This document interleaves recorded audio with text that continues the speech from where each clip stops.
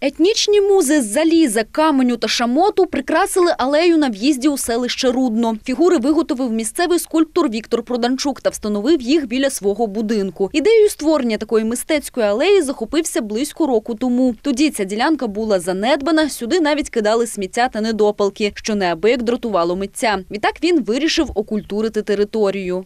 Знаєте, як кажуть, хочеш змін, зроби біля себе. Ну, я вирішив зробити культурний, гарний громадський простір, який вийшов мені немалу, е, не одну десятку тисяч гривень тут вкладено.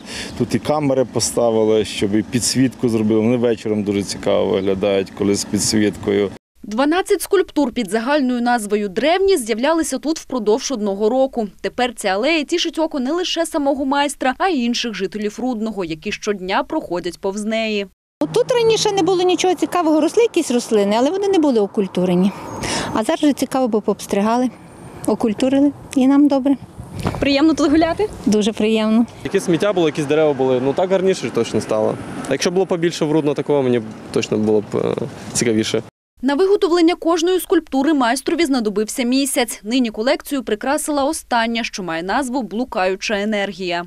Оце вже такі, якби блукаюча енергія. Енергія, по ній пішла енергія, вона така, от вона десь йде, виходить, переходить і десь зникає. Це вже е, цю енергію намалювала моя дружина, бо ми деколи з нею спрацюємо в співавторстві, це Наталя Проданчук. От тут таке поєднання моя пластика, мій чорний колір і її оця блукаюча енергія.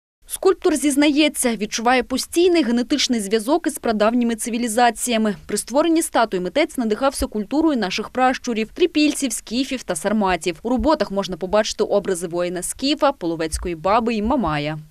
Трипільці вони в кожній, в кожній якійсь закарлючці кладали свій символ. І мені дуже подобається розгадувати ці символи. Тому я десь в своєму мистецтві десь є якісь натяки, якісь орнаменти, але я їх вже інтерпретую. От беру трипільські, інтерпретуючи, пропускаючи через себе, створюю вже якийсь свій такий, знаєте, ну що вже щось своє. Зі слів самого митця, його творчість здебільшого не розуміють, адже роботи переважно філософські. Однак від етнічних муз мешканці Рудного у справжньому захопленні. Взагалі мені подобається майстер в зв'язку з тим, що він має талант.